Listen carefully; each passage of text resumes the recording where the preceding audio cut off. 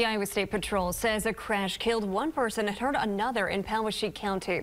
It happened around 2 yesterday afternoon at the intersection of Highway 6 and 63.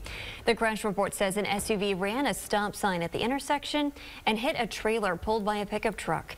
That pushed the trailer into the opposite lane and a semi-truck hit it. All three vehicles ended up in the ditch. The SUV caught fire. One person was taken to a hospital. Another person died. Troopers have not released that person's name.